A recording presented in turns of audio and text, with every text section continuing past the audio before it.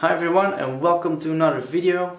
Today we're gonna paint a crappie and this is the very first time I'm gonna try to paint that and I don't know how it's gonna go but we're definitely gonna give it our best shot and we're gonna try to paint a really nice and realistic looking crappie and we're starting right now.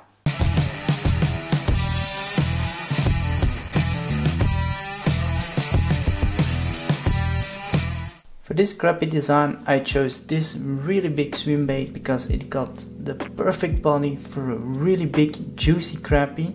I love these kind of lures with a lot of detail in them because you can make really nice and beautiful lures out of them. First of all I'm gonna apply a white base coat and I always like to mix in a little bit of 40-50 with this to create a little bit of a better adhesion. And then afterwards I'm gonna spray Createx Quicksilver over the entire body except for the belly. Now to create that shiny white belly I'm gonna use Wicked Pearl White and also Metallic White Cores from Createx to make that belly look really shiny but still really bright white and I'm also gonna use the same paints on the underside of the gill plates. That's gonna give the gill plates a little bit more of a that natural metallic shine kind of look and that's by just building up that pearl white really thick on there. So you can be very generous with this metallic white paint because it's only gonna look quite natural. I'm also gonna create a little bit of a black texture here and there on the top of the, of the fish and also a little bit on the gill plates. And for that I'm gonna use Vallejo black wash and I'm just gonna dip it on there with a paper towel and maybe rub it out a little.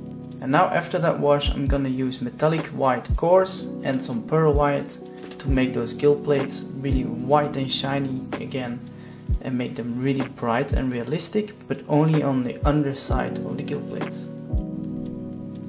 The next step is going to be a little bit of that yellow on those gill plates again and for that I'm gonna use Vallejo the Shifters Gold Yellow to Burnt Orange because this is a color shift, it gives that little extra to the lure and also it's gonna make it really nice and golden again. I'm also gonna use it a little bit on the side of the body as well. Now it's time for that black crappie pattern on there and because I don't have any crappie stencils and I don't even have the right size of a stencil that would work for this pattern. So I think it's best that I'm gonna do this with a sponge. I'm gonna dip on some opaque black paint and that way I'm gonna try to recreate that crappie pattern as best as I can. And I think that's my best bet.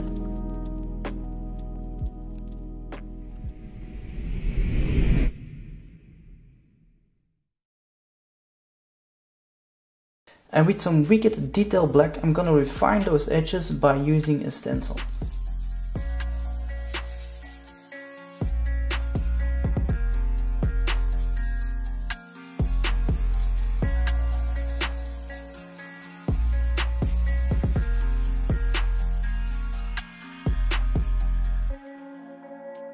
I ended up really not liking this pattern, so now I'm taking my piece of cloth and some airbrush cleaner and I'm trying to remove these stripes again and see if I can save it all.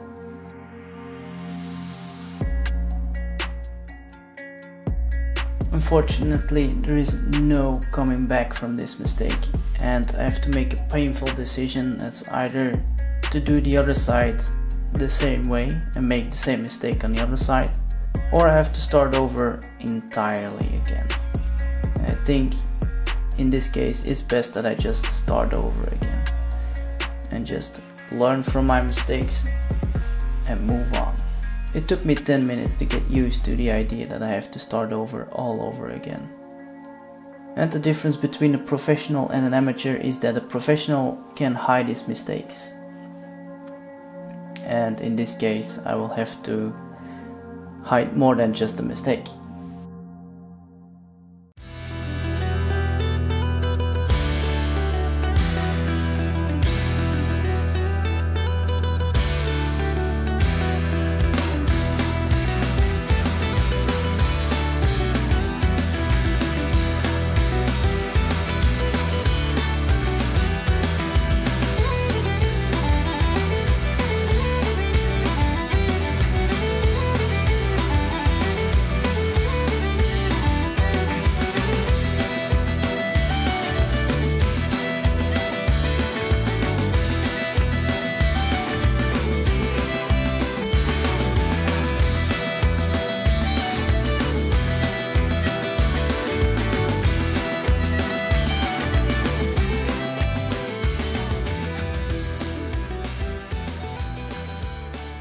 Now that the black is dry, I'm gonna slightly coat the sides, the flanks again, with a little bit of gold yellow burnt orange from the shifters from Vallejo, just to make that color shift pop a little bit more. And on that black it's gonna stick out just a little bit more then. And on the back I'm gonna do a gold pale blue from the shifters, just to create even more color shift on the back.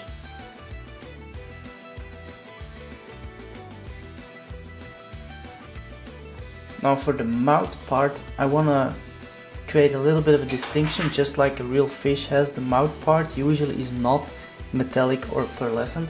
So for that I'm gonna use a Wicked Opaque cream and I'm gonna try to make it a little bit matte colored again and give that lifelike flesh kinda uh, color to it.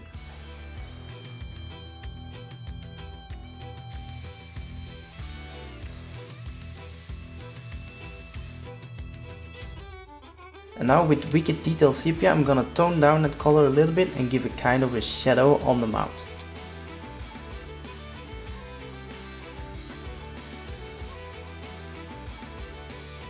Now I will remove the tape from my fin and then we're gonna darken the entire back and the fin as well with some Candy2O black.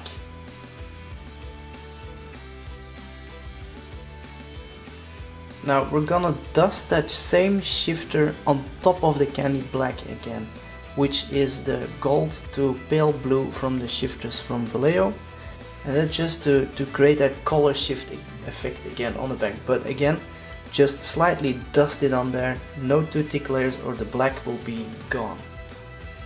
And now to finish this lure off, I'm gonna use a little bit of Vallejo polished gold I'm gonna spray that through one of the Vallejo stencils, which are the dots. And the reason that I'm using polished gold for this is that because with metallic pigments or pearlescent pigments, you don't got any bleeding onto a candy. Because the metallic pigments and pearl pigments, they don't soak up the paint from the candy. So you got no bleeding, you don't need to use an intercoat, you can just spray on your metallic and pearlescence straight onto a candy it's not gonna be any problems. And it's also gonna give a really cool effect. And I'm gonna use these 10mm glass eyes from Lureblanks. Ready for a clear coat.